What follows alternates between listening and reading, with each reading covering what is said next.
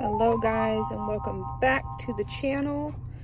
Um, as you can see we are in the car because Zuko's at the vet. Um, he's here for a past injury that I was hoping was just going to go away on its own. It happened about seven months ago and um, he got better. I mean it's not like he's had an issue for seven months. He got better and he was doing fine, um, not limping or anything. He'd injured his back leg somehow, um, running, I guess, over, he overdid it. Um, and he was doing fine for months, not having any issues. And as of lately, the last couple of months, he, um, he, anytime he overexerts himself, runs, plays, uh, he'll start limping on his left uh, hind leg. And just not horrible limping, like as you can see, he's still full of energy. He still wants to play. Uh, he still wants to roughhouse and have fun, but he doesn't put a whole lot of weight on that left back leg. So we are sitting out in the car waiting for his doctor's appointment um, because of this whole COVID thing. Unfortunately, I'm not even allowed to go inside with him, which I'm a little concerned about because he really hasn't been away from me much and I know that's not the best thing to do for a Rottweiler. I understand that. But again, because of COVID and everything being shut down, um, we haven't got to do a whole lot with him. Um, so he's pretty much just used to me and my husband and our animals and, you know, close friends and family that he sees. But I don't know how he's going to do inside the vet without me. I'm hoping he's a sweet boy and uh, doesn't give them any problems or issues. And I'm also praying that he doesn't have like a torn ACL or torn meniscus or something like that because that's where, where I am. That's like a $2,000 surgery. Um, of course, we would do everything we can for him to be happy and healthy, but that's a lot of money to be out. So, um, hoping it doesn't resort to that. But if it does, we will get him taken care of. So um, I'll keep you guys posted um, with what happens after he gets out of the, veterinary office. So we're just hanging out. Our appointment's at 3. It's 2.48 right now. So yeah, I'll let you guys know. Keep them in prayers. They just came and took them away my heart is like in my stomach. I'm one of those owners. Uh, sorry if you don't like that, but my dogs are my babies. They are my kids. I love them to pieces.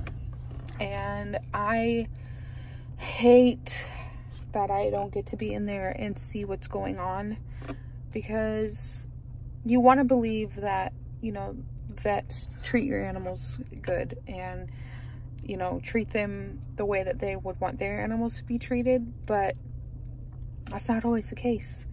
And I have no idea what's going on back there, how they're treating him or how he's reacting to anything. And it just bothers me so bad. Um, yeah, I can't, I can't stand it. So I'm sitting in here very anxiously uh, waiting for them to get done with him and call me and let me know what's going on because yeah I'm freaking out right now. So I guess I will uh, get off here and just patiently wait.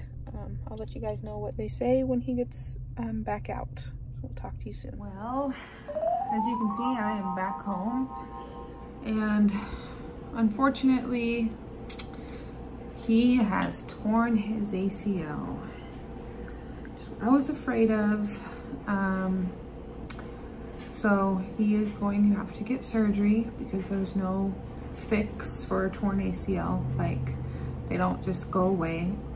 If it was like a minor tear, they can sometimes heal on their own with very strict um, guidelines of no playing, no roughhousing, you know, things like that. But he has unfortunately torn his ACL. So there's no fixing that. It's not just gonna go away. So we are going to have to do surgery, um, which is gonna be about, like I said, $2,500. Um, I do work for a veterinary clinic, so I'm hoping that my boss will work with me somewhat to be able to afford this payment.